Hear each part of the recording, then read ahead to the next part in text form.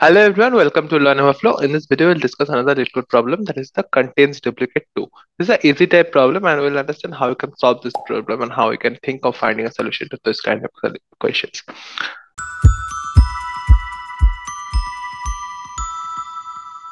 So first of all, the question says, uh, given an integer array nums and an integer k, we're to return true if uh, there are two indices i and j in the array such that nums i equal to nums j and absolute value of i minus j is less than equal to k. So what it means is like we need to return uh, true if and only if we have like two different uh, indices uh, in the array where the value at this indices are equal, that's nums i equals nums j. So values are equal and the difference between them, okay, the difference between them is uh, less than equal to k.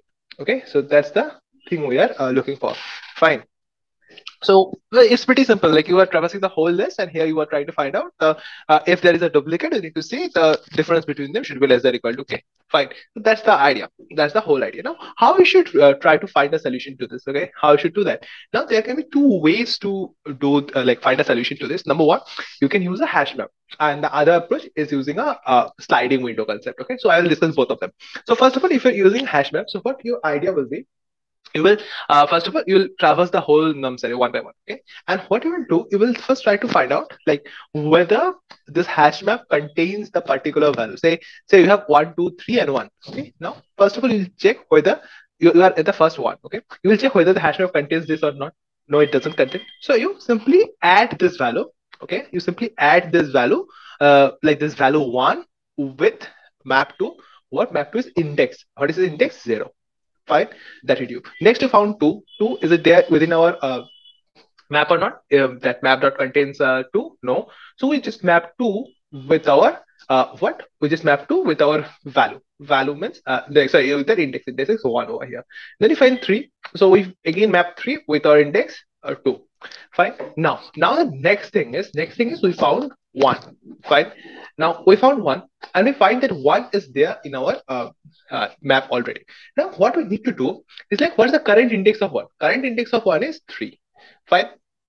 So we'll do three minus what is the previous like map dot get uh, one. So what is the previous index of one? So we get zero. So three minus zero. We'll find if this is less than or equal to our k. If this is less than or equal to our k, we'll return true. But in case this is not less than equal to k, let's say this is greater than k. Okay, what will happen? We'll simply add uh, map dot uh, like map dot put what uh, this uh, uh, one comma will update this zero to three, right? Because we why we're updating C uh, like the idea you need to understand why we're updating is mainly because the difference we already found is greater than k. Okay, we're considering this difference to be greater than k for this example. Let's say the difference we already found is greater than k. So we need to check whether there is other value within that uh, within that uh, uh, is possible or not? Like other values within the whole nums array where the difference might be possible? Because zero is already too far off right? We already found that zero is too far off and this is cannot be a value. So now we should check we should update this value with the current index so that further if we find an, uh, another one we will see the shortest distance not the whole distance previously. Okay? So this is the idea now, this approach is pretty simple and much faster as well. So here we're just simply updating, keep updating, and once we find, we return true. Okay, so this is the first approach. The next approach we have is uh, using an uh, sliding window concept. Okay, so what the sliding window is, we don't use a, a set uh, like hash map for this case. Rather, we'll use a hash set in this case. Okay, so what we'll do we'll uh, first of all we'll traverse to the whole uh, as always we'll traverse to the whole terms array fine. Now we'll check if this uh, sliding window already contains our uh, or better say we'll check whether our has uh, set contains our one like this contains a value or not. Fine. If it contains a value we'll return true. But you'll say oh wait how how we can say that? Okay. The next consideration comes here. We'll check whether the index is greater than or equal to k if our index is greater than equal to okay we'll remove it. Okay see how it does okay so let me let me just uh, change it to 2 okay because it is giving me true for 3 so let me just change it to 2 for that it will tell me false. Now say consider this thing. How, how we're going ahead with that. So first of all we are checking uh, if our sliding window or let us say the set contains our num index we should return true. Fine. And if our index is greater than equal to k we should remove that value, like previous value from uh, like from our window. So first of all, first thing first is like we'll uh, keep adding. Okay, so first of all, we, we got a set over here. So first we just added one. Okay, remember set doesn't store them in uh, exact order, so it can be at any order. So I'm just writing it in the order. First of all, we added one. Fine. Next we uh, found two. That's two is there. No, so we added two. Fine. Similarly, we added three because three is also not there uh, previously in the set. Now the next thing contain comes is and the next thing we come ahead is one. Now here comes the question. Okay, so here we'll check that one is already there in your set. Yes, we return true, right? So this is the first condition. We'll see that if one is already there in the uh, uh, set, we'll return true. But the question here is how how this is valid. The valid is like we'll keep a check whether current index, okay, uh, current index. I'm saying int is greater than equal to our k or not. If a current index is greater than equal to k, what we'll do, we'll remove our current value. Okay, say we are at 3, right? The index is 3. So 3 is greater than equal to k, right? So what we'll do, uh, the first of all, it will happen at 3 at this position only. Fine. So for that, what, what was the index? Index was 2. So index is greater than or equal to k. k I updated as 2, right? So index equal to k. So what will happen? It will remove nums of index minus k. So nums of index was 2, index was 2, okay, minus k is like index was 2, k was 2, so that's equal. So we'll simply remove nums of index minus k. So what that will happen is like nums of 0 will get removed. So what's the nums of 0? Nums of 0 is 1. So that's how we remove that. Fine. Now we'll check uh, 1 and we'll find whether 1 is there in our list or not. If it's not there, we'll simply uh, we'll simply update that file or we'll simply say true. If, if it's there, we'll simply say true or else we'll keep updating. And if the end of the whole um, array, we didn't find any true value being written, so that means we return false. Okay, so this concept is also a bit interesting. So first of all, let me just quickly write down that uh, hash uh, like hash map concept. Then I'll use this. I'll show this set concept, like uh, how this set concept is working. Okay, let's go ahead with that. So let's see what we did with this question. We got first we checked for a k equals zero or not. So why we're checking this? Uh, just because the k is already given here. Fine. K is given here. Uh, k can be zero in our constraints. Fine. So if k is zero, that means we are at the same index. Okay. But our question says this should be uh, distinct indices, right? So k zero is already false. Fine. Then I took a hash map in the hash map, we tra- uh, like first of all we traverse through the whole nums array, and in that we took each of the values. Okay, so we just checked if our value is already there in the hash map. If our value is already there, then we try to check if our i minus hash map dot get. So the hash map dot get will return as the index previous index. So i minus hash map dot get is less than equal to k. If it is so, we'll return true. And uh, in the normal case, if this is not there or if the value is not uh, uh, like if the subtraction is not less than equal to k, we'll return hash map dot put a val comma i. I with the index and the value we are putting it. Fine. Another thing we need to look for over here is like see we are saying that we should be the absolute value of i minus a right? But see over here uh, like would it uh, create any kind of problem over here? Like any kind of negative numbers or something like that? No. Why is it so? Because by default i is something see if that value is contains in that so i is something on the right hand side right? So what i mean is say what i mean exactly is say uh, there is like one, two, like this one, two, three, and then one, right? So whenever this first one get executed, hash dot contains value is not there. So that means hash map doesn't have that value for sure, right? So first one, we, we don't in, encounter this statement, right? And statement, or like the rest part will get encountered. Now, whenever we get the next one, right? That time contains value is true we will encounter this. So where is i currently pointing? i is currently pointing at the rightmost point, right? And hash dot get value is something pointing before that, right? By default is something pointing less than that or before that. So it, will always be a positive number. So that's uh, how it is, okay? I, I hope you can understand that it will always be less than that. So that's how we ask us to make an absolute value, but we, we are sure over here that we don't need to take absolute value because it will be positive by default, right?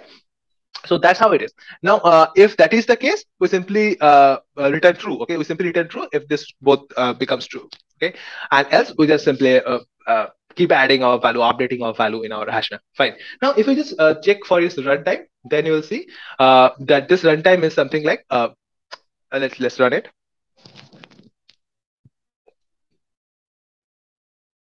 So it comes up to be something like 57 ms.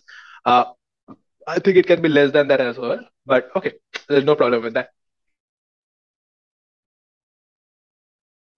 Anyways, LeetCode is uh, getting mad. 57, 66. Anyways, it doesn't matter. Let's look at the next uh, kind of approach we have. The next kind of approach, as I said, is like a, a sliding window approach. Okay.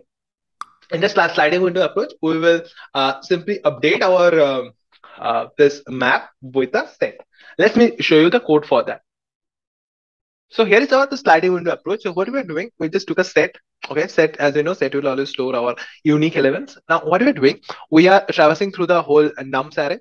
Okay, uh, in the whole nums array, we're just checking if our window like this uh, sliding uh, the set contains our nums of i, we return true. Okay, so for the initial cases, this value, this case is only true. So for the initial numbers, we'll keep checking for this window should add the nums of i okay? So if a window contains nums of i will return true if it is there right but you will you, as i said you will uh, point out how this uh, is valid because we need to check for the absolute value. So uh, that absolute value comes from this part. So we're checking if that i that is the current index is greater than equal to k okay? If current index is greater than equal to k we'll simply remove a value that is nums of i minus k. We'll simply remove the value that is far off from the uh, window, okay, or that is far off from the range. Because uh, for uh, absolute value to be less than equal to k, we should look for that range only, that k number of elements we should only look for. We should not look for much uh, values much beyond that, right? So if the index is greater than equal to k, we should keep removing elements from that. Okay, we should keep removing elements. So we just remove the element that is uh, much back uh, previous to that. So i minus k. So if k is 2 and i is currently also 2, so i minus k will remove the zeroth index from our nums array. Okay, so that's how it is. It works. So if I just run it, we'll see how it works uh, for us right now.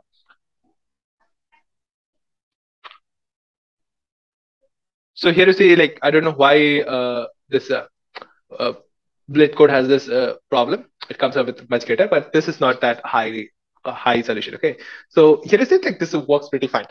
It works uh, 59 ms, but you shouldn't be 59. You should uh, get it much lesser than that. So that's it, guys. So that's how you just do it. And uh, this, uh, the last approach we are talking about the map, right? But we can check for another, like a, bit simplified version of that map also. Uh, that map can be a bit simplified. So let's quickly see that solution also. So here's a map solution, but see this map solution is like a bit simplified. How it goes, uh, as well as the equals zero, those things are done. Okay, now what we did, we just keep on checking. Uh, we just keep on checking. That is uh, the whole uh, length, uh, like the whole num set is being traversed. Okay, so uh, that whole num set is being traversed, and in that, how we're going ahead with it is like uh, we took like map dot put uh, nums and i. Fine. So this is the being put, so nums and i, and it will return the index. Fine. Now what will happen? We're checking the index is not null. That is, the value is uh, like previously not, not there, then it will be null. So if the index is not null, then what will happen? We'll just check for the absolute value. As you say, you can do the reverse as well. So i minus index or index minus i is like uh, you can do fine. So if you just do uh, i minus index, then also it should work. Okay, so i minus index is less than equal to k. It's like the same concept, but we're just uh, making use of the uh, return statement of the map.put. Map.put returns as a value. Okay, that's the previous value if there is any. Okay, so whatever the, the previous i value there, it will return as that. Okay, so map.put does that way. So it's a bit uh, improved, you can say. Yes, uh, you can say run that. So if we just run that, it will uh, say it might improve our solution. See, this uh, goes down much, much faster. than The 100 ms, the uh, 10 millisecond solution. How it improves this is like you are not checking for the map dot uh, uh, those checks that whether map dot contains key or not, whether this value is there or not. Okay, you are simply doing a map dot put. If the map dot put is like previously, if there's a value there in our map, it will return us that uh, uh like that uh, map value. Or if there is nothing, it will return null. So we're checking if the index is not null. That means it's there. There are some value previously. Right? It will return us that value. So using that particular concept, you can see that uh, that simple modification will just improve our solution to much, much higher. Okay, just a 10 ms solution. Okay, so I hope this can be understood how we can go ahead with the solution. So thank you all for watching this video. Also like this video and comment down if you have any doubts related to the question. I'll be happy to help you out in the comments as well. So thank you all for watching this video. Hope to see you soon in my next video as well. Thank you.